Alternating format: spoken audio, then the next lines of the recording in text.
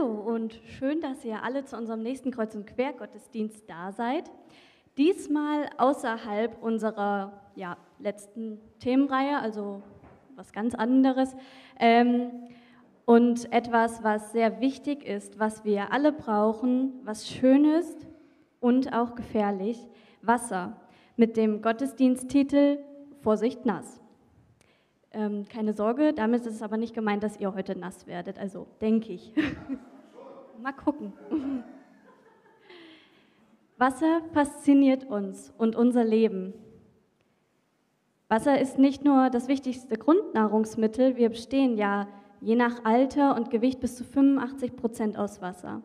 Wissenschaftler suchen im Weltall zuerst nach Wasser, weil das ein Zeichen für Leben sein kann. Heute wollen wir über dieses besondere Element und Geschichten aus der Bibel nachdenken. Der Herr ist mein Hirte, mir wird nichts mangeln. Er weidet mich auf einer grünen Aue und führet mich zum frischen Wasser. Im Psalm 23, den wir ja wahrscheinlich alle kennen, geht es genau um das, was ich euch gleich zeigen möchte, und führet mich zum frischen Wasser. Aber dazu gleich mehr. Ich möchte beten. Gott, wir möchten dir danken, dass du uns bereits in der Schöpfungsgeschichte vom Wasser erzählst und nahebringst, wie wichtig es für uns ist. Kein Leben wäre möglich ohne dieses Wasser. Danke, Herr, für diese mal nicht so heiße Woche. Danke für Regen, durch den die Pflanzen wieder weiter wachsen können. Schenke uns einen gesegneten, nicht zu nassen Gottesdienst. Amen. Wir wollen gemeinsam singen.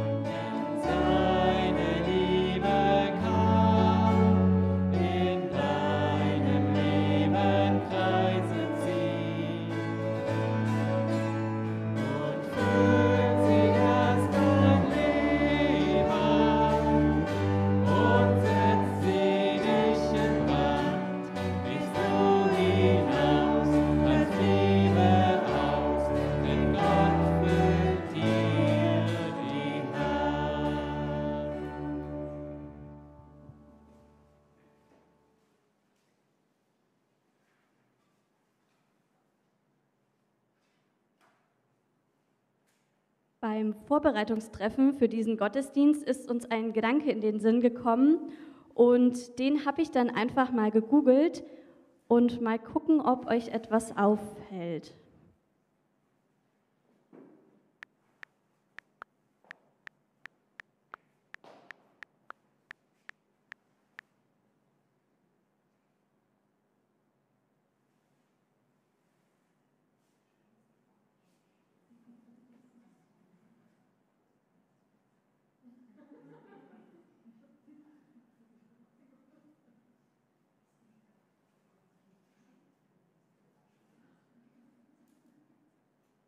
Bin dann nochmal extra auf so ein paar Seiten gegangen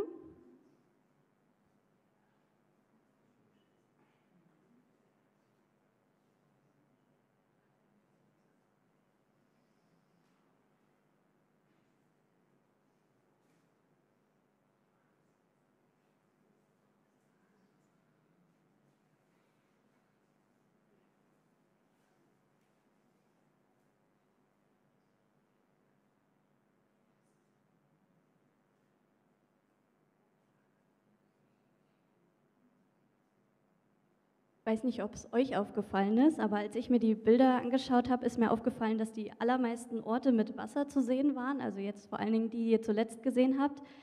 Ähm, und man kann schon sagen, das Wasser zieht uns ja eigentlich immer wieder an. Also vor allem, wenn man an Urlaub denkt.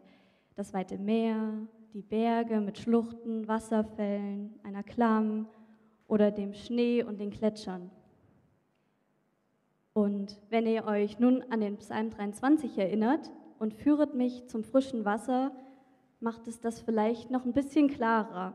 Gott führt uns immer wieder an Orte mit Wasser, schenkt uns neues Wasser und das Wasser als Symbol zum Auftanken. Genau das, was wir bei Gott machen können, auftanken und neue Energie schöpfen. Und damit wir das Auftanken nun wortwörtlich auch mal nehmen können, würde ich euch bitten, dass ihr mir einmal nach draußen folgt.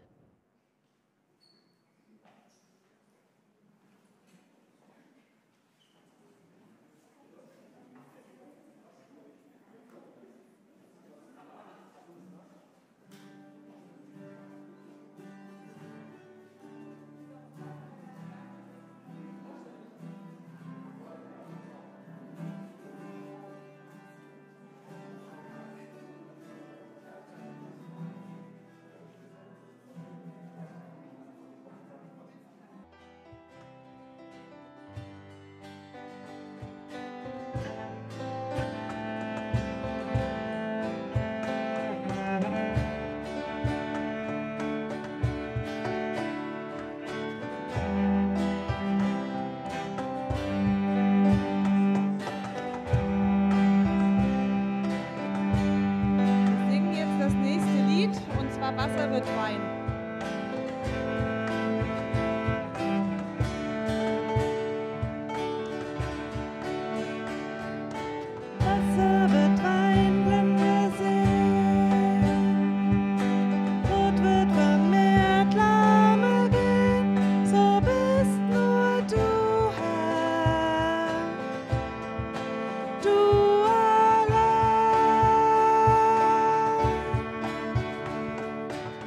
Scheint in dunkelster Nacht. Armen wird Hoffnung gebracht, so bist nur du Herr. Du allein. Gott, du bist größer, Gott, du bist stärker, Gott, du stehst höher als alles andere. Unser Heiler, starker Befreier, so bist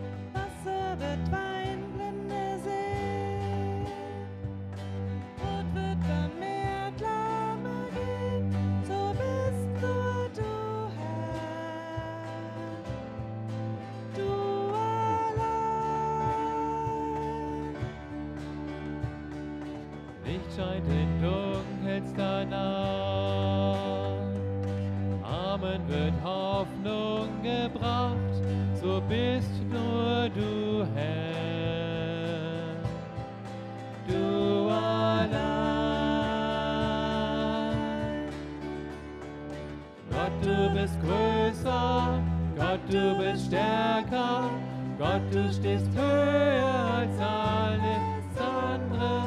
Gott, unser Heiler, starker Befreier, so bist nur du. Und steht Steht uns Gott zur Seite, was kann uns jemals hindern? Und steht uns Gott zur Seite, wer kann uns widerstehen? Steht uns Gott zur Seite, wer kann uns jemals hindern? Und steht uns Gott zur Seite, wer kann uns widerstehen?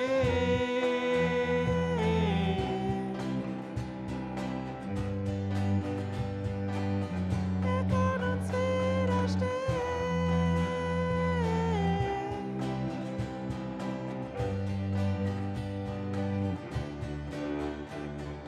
Gott, du bist größer, Gott, du bist stärker, Gott, du stehst höher als alles andere. Gott, unser Heiler, starker Befreier, so bist nur du.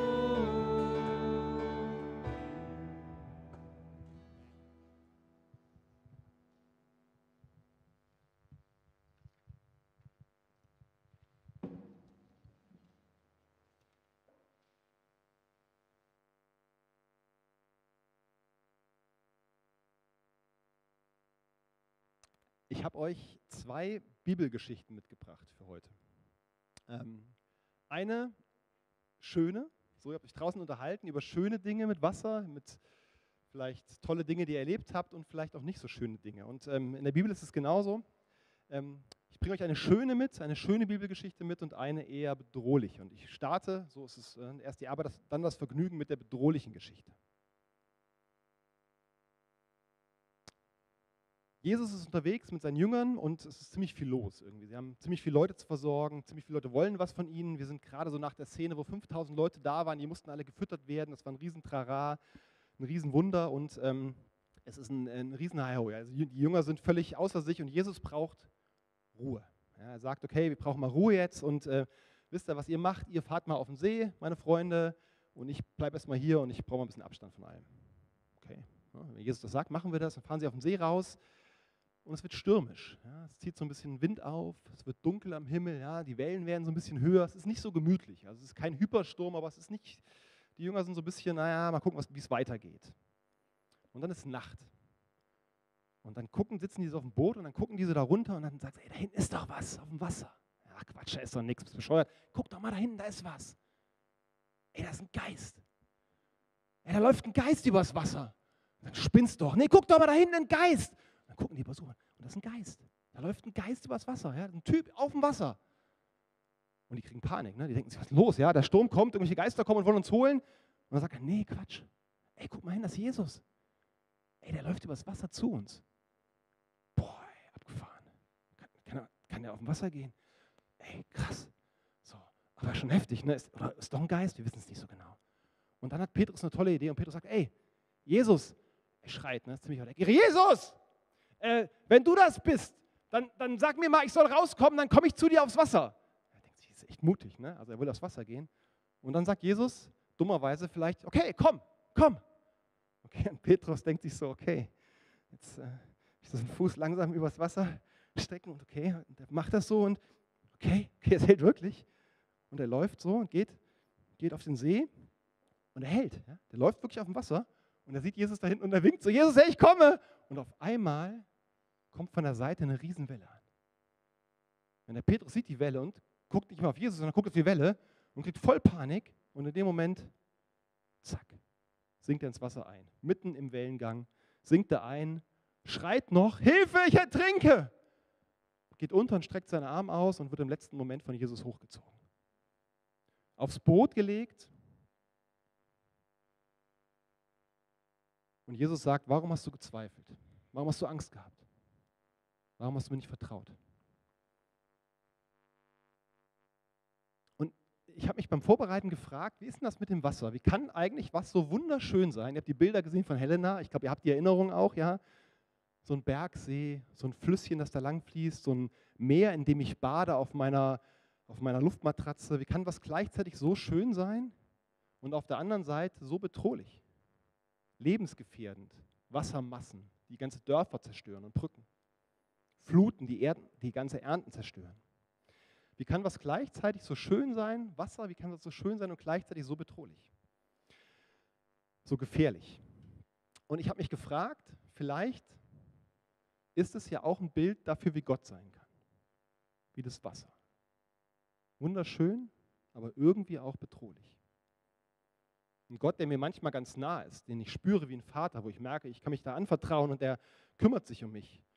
Aber auch ein Gott, der Dinge passieren lässt in der Welt, die ich nicht verstehe der irgendwie Dinge tut, wo ich nicht einstimmen kann, wo ich mich frage, warum passiert das eigentlich? Warum? Wie kann Gott gleichzeitig so nah sein und doch so fern, so fremd und doch so nah? Und es gibt, ähm, weiß nicht, ob ihr die Narnia-Geschichten kennt von C.S. Lewis. Äh, ich habe die sehr geliebt, früher so als Jugendlicher. Und es gibt da einen Spruch, den fand ich schon immer toll und der passt super hierzu. Und zwar ist es so, dass die Kinder kommen ja in so, in so eine fremde Welt, Narnia, und es gibt da so einen Löwen, das ist so eine Figur für, für Gott oder für Jesus in der Geschichte. So ein ganz, der gut ist und sich um alle kümmert und die Kinder so mögen den total gerne und ähm, irgendwann sagen aber die Bewohner von Narnia folgenden Satz zu denen. Aslan heißt er übrigens. Sie sagen, er ist kein zahmer Löwe. Sagen sie zu ihnen. Er ist kein zahmer Löwe. Er ist kein Kuschellöwe. Das ist kein Löwe wie so eine Hauskatze, die ich mir auf den Schoß nehmen kann und mit der kuscheln kann, die so meine Katze ist, die gehört mir, sondern der ist immer noch gefährlich. Der ist immer noch ein Löwe.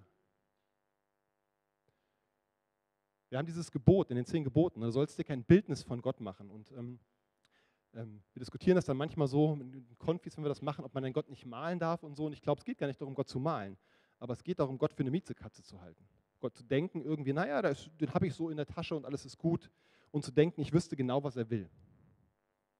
Zu denken, Gott ist auf meiner Seite. Auf meiner Seite gegen die anderen. Hinter mir steht er und da sind die anderen. Und das haben schon viele Leute in der Weltgeschichte gedacht und das war meistens eine echt schlechte Idee. Wenn Leute gedacht haben, Gott ist auf meiner Seite und ich kämpfe mit Gott gegen die anderen. Gott ist anders. Gott ist fremd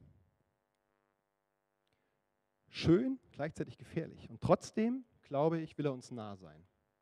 Trotz dieser Andersartigkeit will er uns nah sein. Und ich glaube, gerade dann, wenn die Stürme toben, die Stürme toben und die Angst mich droht zu überwältigen. Wir singen gemeinsam Oceans.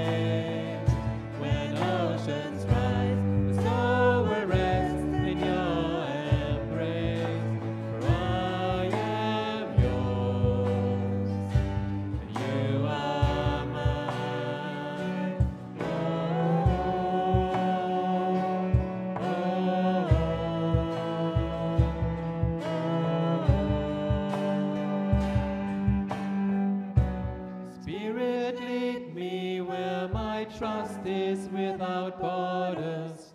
Let me walk upon the waters wherever you would call me.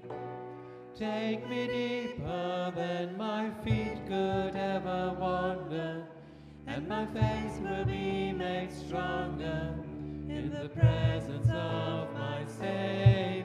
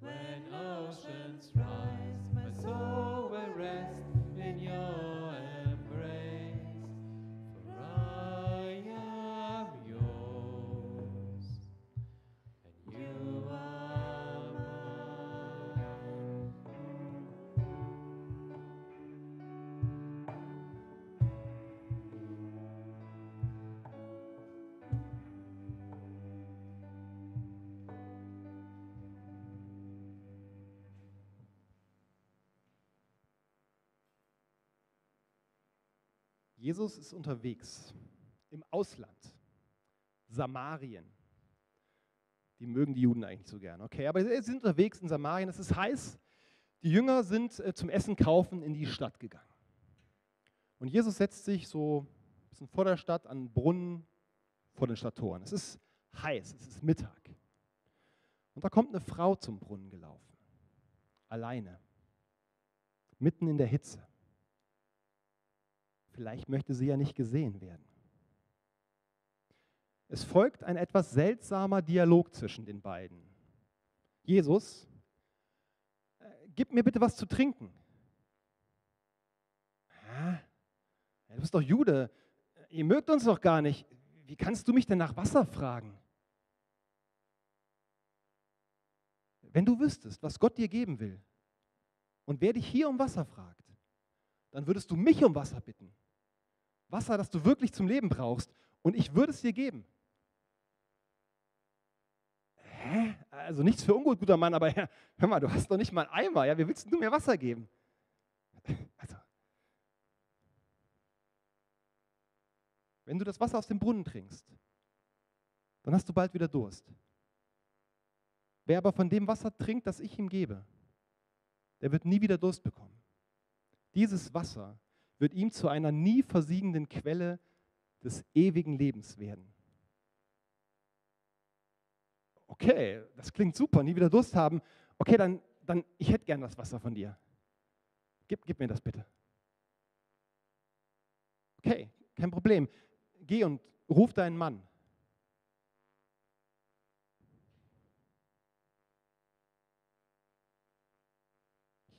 Ich bin gar nicht verheiratet.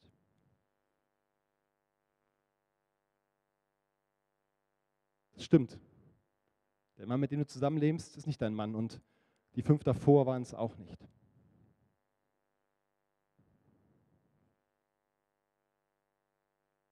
Ich sehe, Herr, du bist ein Prophet.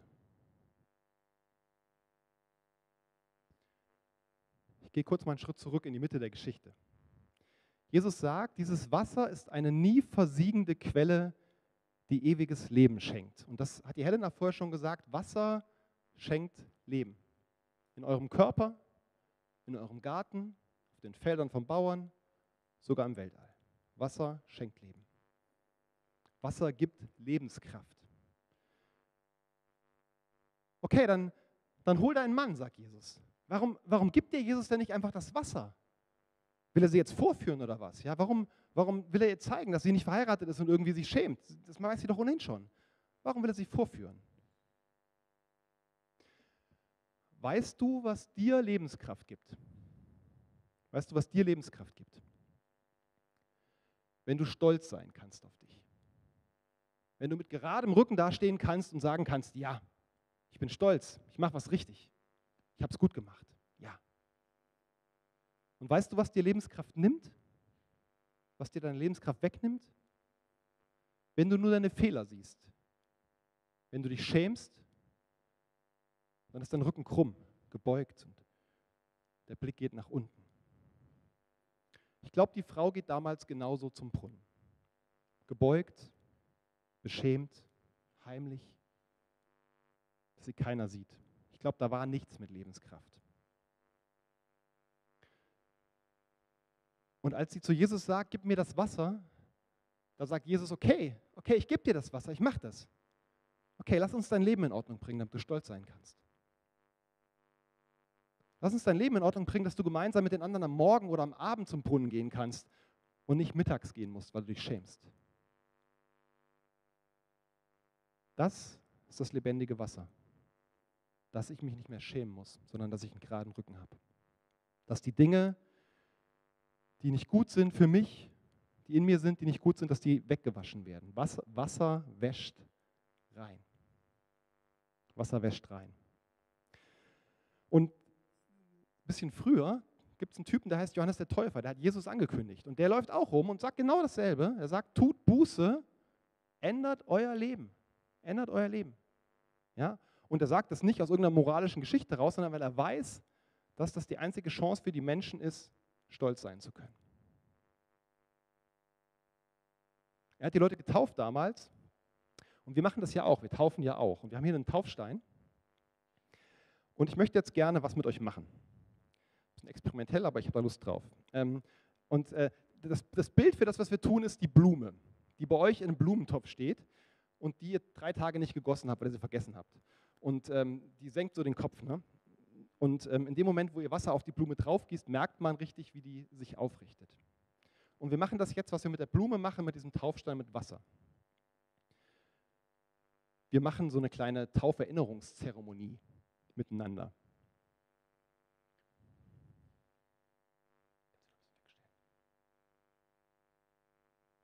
Haben da Wasser reingemacht.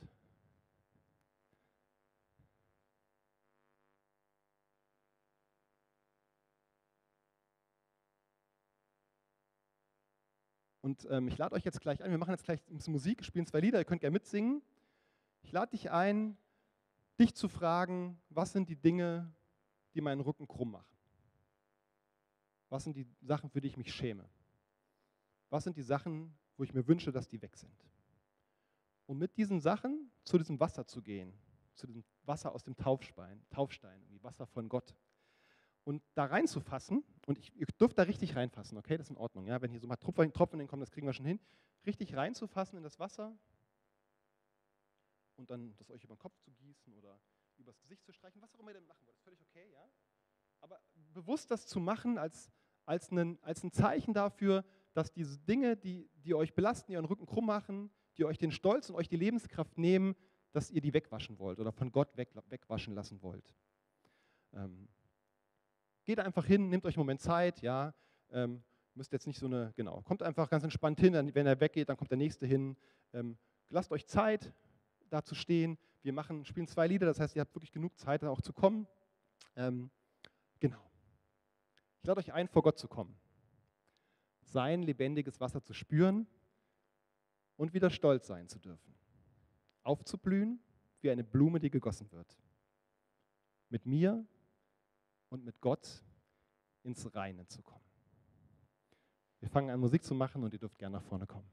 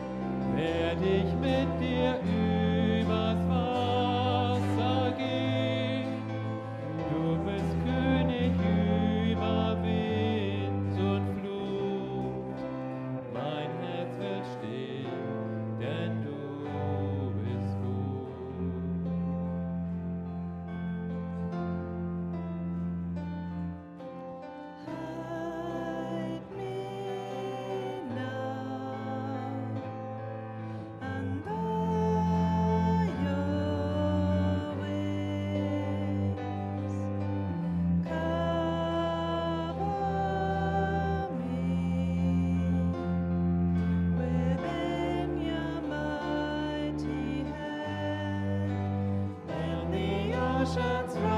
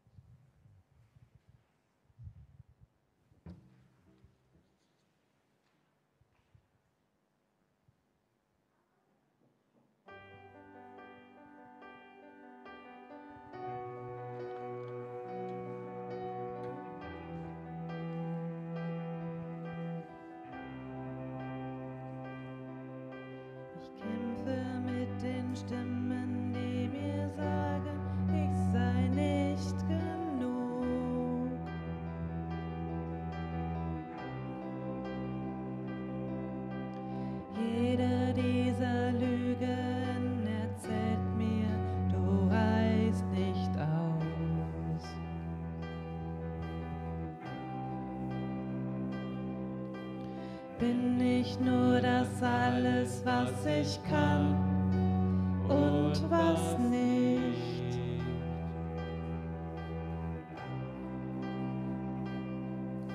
Erinnere mich nochmal, ich hab vergessen, wer ich wirklich bin.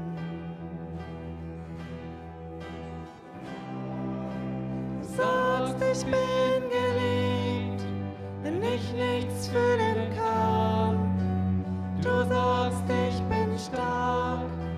Wenn ich denk, ich bin schwach, du sagst, du hältst mich fest.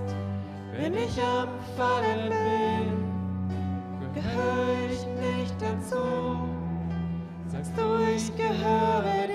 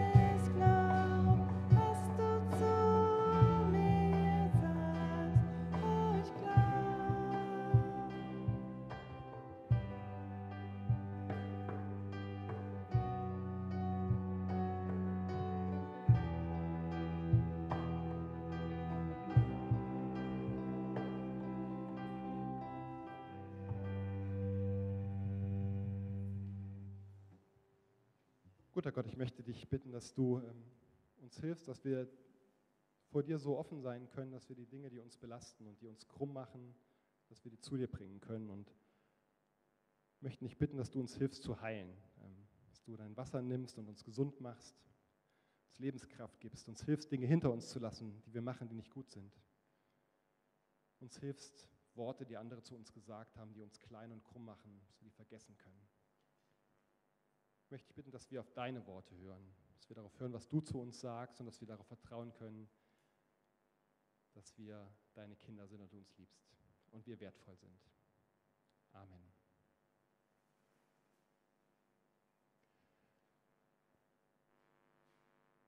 Wir spielen zum Schluss noch ein Lied, was ich fand, finde, was ganz schön passt, irgendwie so zum Zuhören für euch. Könnt ihr euch gerne noch ein bisschen sitzen bleiben und ähm, genau. Wer danach Lust hat, noch mal kurz zum Wasser zu gehen, darf das natürlich auch gerne machen.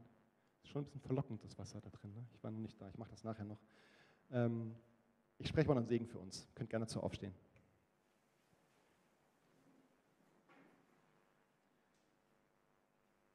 Der Herr segne dich und behüte dich. Der Herr lasse sein Angesicht leuchten über dir und sei dir gnädig.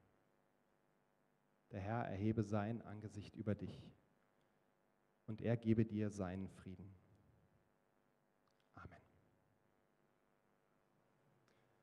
Ja, schön, dass ihr da wart äh, beim Kreuz- und Quergottesdienst. Ich glaube, wir haben Kreuz und Quer eine kleine Sommerpause und starten dann im September wieder mit dem nächsten. Ähm, wer noch ein Eis will, kann sich noch einen schnappen. Es sind noch ein paar da, vielleicht. Ich weiß nicht so genau. Mal gucken sind, doch, wir haben, wir haben die noch, wir haben, wir, haben eine, wir haben eine elektronische Kühltruhe. Ansonsten hört gerne noch zu ein bisschen. Wir spielen noch ein Lied, äh, was ich finde, was ganz gut passt. Und ansonsten wünschen wir euch einen wunderschönen Sonntagabend.